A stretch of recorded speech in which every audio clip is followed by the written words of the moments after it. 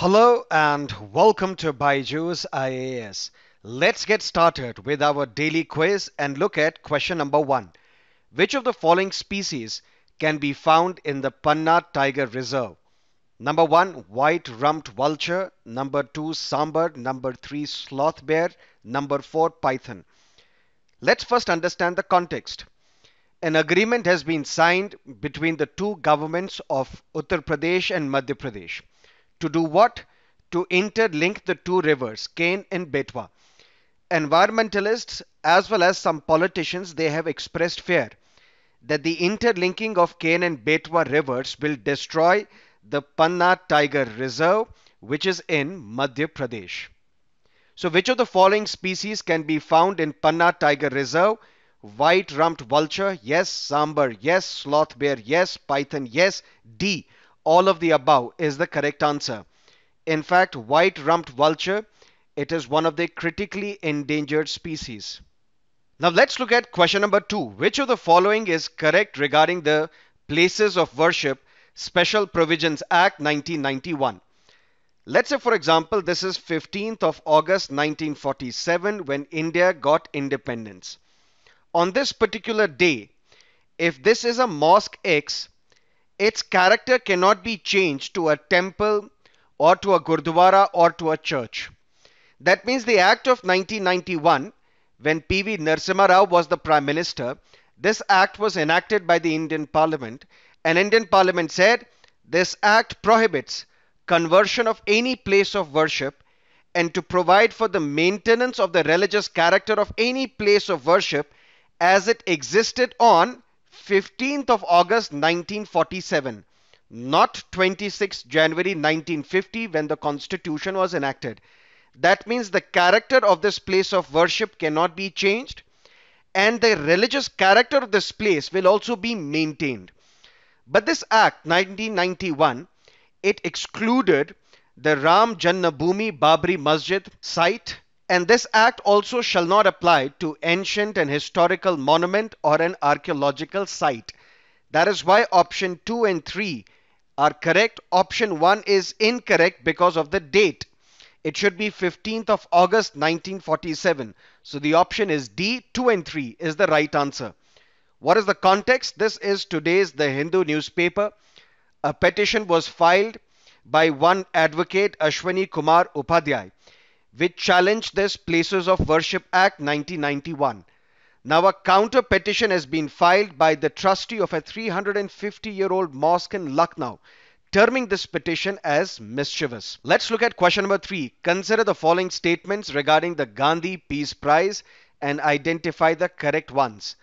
Gandhi Peace Prize is an annual award instituted by the Government of India since 1995. Correct, Ministry of Culture is responsible for this. 1995 was the year of 125th birth anniversary of the Mahatma, Mahatma Gandhi. So this Gandhi Peace Prize is an annual award instituted by the Government of India since 1995. So this statement is correct the number of recipients is restricted to a maximum of three in a particular year? No. Only one award is given. There may be a joint holder of this award. That means this award can be given to two individuals. They will be the joint holders of this award, but the award will be only one. This statement is incorrect. Statement number three institutions and associations are not eligible for this prize. It is wrong. Even institutions and associations are eligible for this prize. So statement 2 and 3 is incorrect. Only one is correct. A is the right answer. But now let's stay with the Gandhi Peace Prize. Some interesting question here. Which one of the following is part of the jury to award the Gandhi Peace Prize?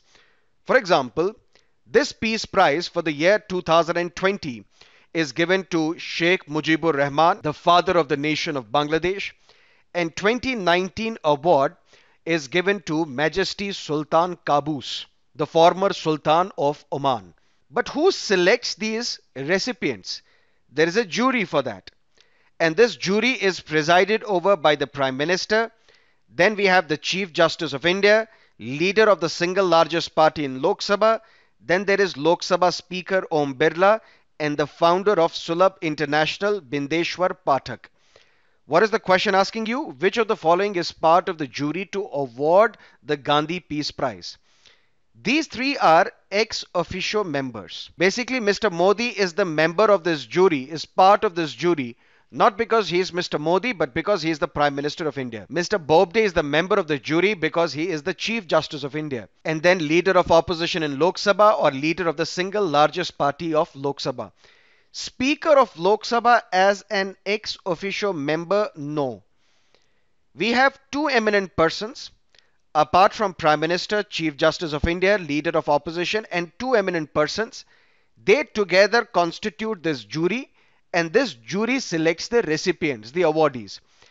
Now, out of these two eminent persons, one eminent person that the government has chosen is the Sulabh International founder Bindeshwar Pathak, and the other eminent person they have chosen is the Speaker of Lok Sabha, Mr. Om Birla which means Speaker of Lok Sabha is not the part of this jury. Ex officio members of this jury are the Prime Ministers, Chief Justice of India, and Leader of Opposition, and two eminent persons.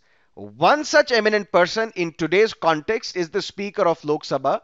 Tomorrow, this eminent person can be someone else, not necessarily the Speaker. So, 4 is incorrect. 1, 2, 3, 5, B is the right answer. Let's look at Prelims 2013 question. Which of the following can be found as pollutants in the drinking water in some parts of India? Arsenic, yes. Sorbitol, no.